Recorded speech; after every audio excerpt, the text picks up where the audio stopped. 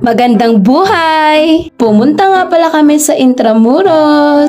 At ayan, tingnan niyo si Teo, talagang gustong gusto na niyang maglakad. Tinanghali na nga pala kami ng alis ng bahay, kaya ayon, medyo mainit itong paglalakad namin. Siyempre, dahil wala kami sasakyan, tamang lakad lamang kami palibot dito sa Manila.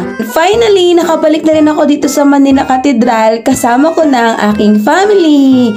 Kasama na namin si Teo. Tamang lakad lamang kami at nakita nyo ba yon? Sila yung mga pinsan ko na may treat sa amin ngayong araw. After namin magsimba sa Manila Cathedral, ayan, tamang kain lang muna kami ng street food. Uy, dito yan sa may San Sebastian Church. Ang sarap ng timpla ng mga sauce ni Kuya. Kaya ayan, ang sarap ng kain namin, pampalipas gutom. At ayun na nga, tamang lakad muna ulit kami papunta sa Luneta. Naghahanap kami ng pwede naming makainan along the area. And ayun, dito nga pala kami sa Mang Inasal na uwi dahil gutom na gutom na nga kami. O diba, ang sarap ng kain. Pati si Teo nakikigulo pa nga.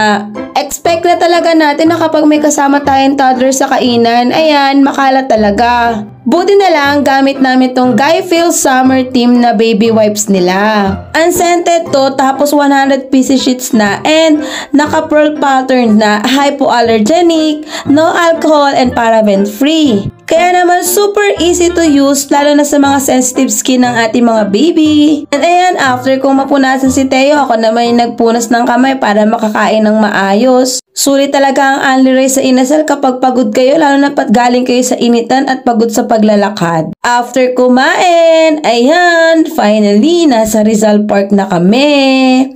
Na mga oras na to, wala pang masyadong tao. Siguro kasi medyo katanghalian na, mainit, ganyan. Ayun, tamang ikot lang muna.